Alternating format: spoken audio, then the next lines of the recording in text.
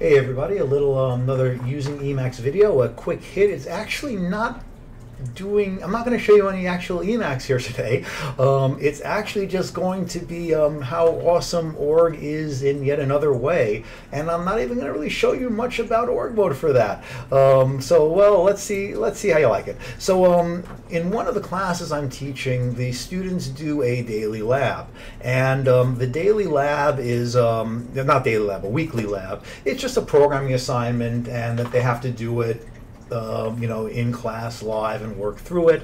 Um, and it's actually been very helpful. Um, before they had this lab, the failure rate was much higher uh, in this class uh, since they put it in a few years ago prior to my coming to Hunter.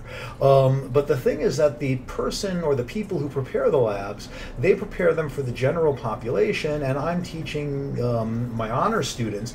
And so um, so my labs are a little bit different. They're a little bit different because I'm having the kids, the students.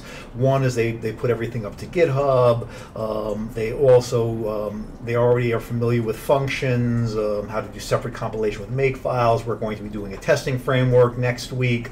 Um, so it's a little bit different. So I have to take the lab and I have to then make changes to it. The problem is, and then I have to get it to the students. Um, the problem is that the labs always come as an HTML file. So the lab that's coming up this week, I'm not going to show the actual lab here, or at least much of it, but it's um, it's dealing with data from the New York City data mine. So you can see there's all this stuff here, and it's uh, the Ashokan Reservoir um, up in Ulster County, and this is cool. I like, uh, I love, love this picture.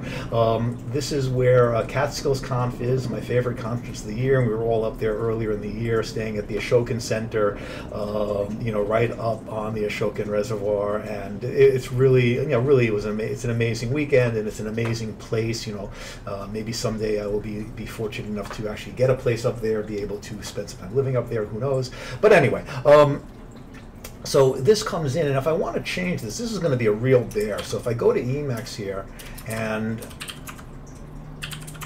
you know, if I try to edit this, you know, I, this is a mess. This is, you know, this is really, really, you know, it's, a, it's an HTML file. You know, you can edit this, but it's going to be really ugly and really, really, really, really annoying. Um, fortunately, there's a cool, cool tool called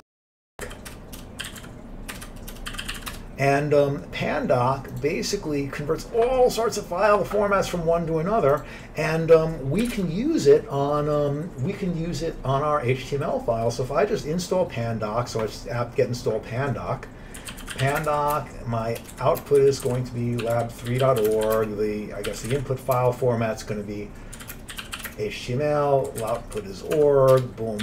And all of a sudden, I have lab3.org. So now let's look at lab3.org.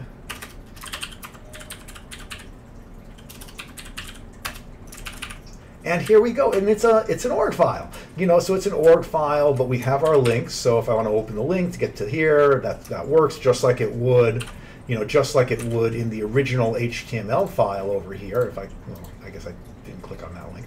Um, but you'll see here all in beautiful setup reasonable easy to manage. Um, now notice we got uh, yeah so anyway all of this stuff that you know begin example etc perfect for me to work with. Now the nice thing here is I can just edit this and it's really easy to navigate and work. But then what I did is I uploaded it as the README file for this lab and because up on GitHub it renders org files, boom, I am done. Um, so org file again for the win, really, really cool of org file Emacs just saved me a ton of work on this lab. Now students can go to this lab when it opens. I actually didn't put the full lab up, just the preliminaries right now. Um, but they can go to this, they can do a git pull to get all the data files and stuff when the lab is run, they can see all the rendered stuff. So really, really cool. Um, Pandoc, check it out. It'll get you into org mode, get you out of org mode. Awesome. Okay, that's it. Bye.